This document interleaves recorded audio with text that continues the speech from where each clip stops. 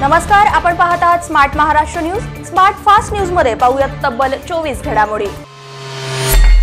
वेळीच पावलं उचला आसाम आणि मिझोरम राज्यातला झगडा मिटवा नाहीतर सीमेवर संघर्ष अटळ. शेकापचे ज्येष्ठ नेते गणपतराव देशमुख यांचं अश्विनी हॉस्पिटल सोलापूर येथे उपचारादरम्यान निधन. महाराष्ट्राच्या राजकारणातील ध्रुवतारा ढासळला जयंत पाटील. मी पॅकेज देणारा नव्हे मदत देणारा मुख्यमंत्री. पॅकेज म्हणा वा मदत म्हणा पण घोषणा करा फडणवीसांचा मुख्यमंत्र्यांवर पलटवार. पूरग्रस्त भागात वीज बिल वसुली करू नका ठाकरे सरकारचा आदेश. आम्ही आधी शिवसैनिक मग मंत्री राणेंचं तोंड बंद करण्याची ताकद प्रत्येक शिवसैनिकात शंभूराज देसाईंचा इशारा.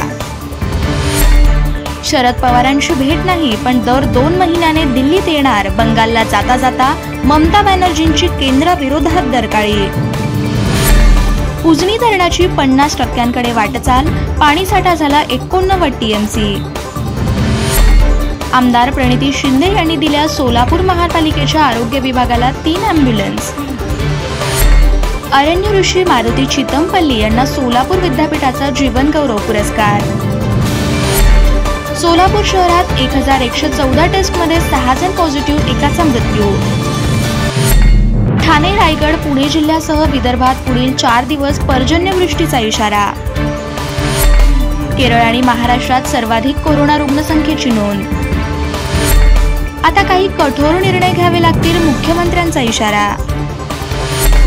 एक मुलीच्या सुरक्षिततेसाठी स्वतंत्र पोलीस कर्मचारी तैनात करू शकत नाही गोव्याच्या मंत्र्यांचं विधान.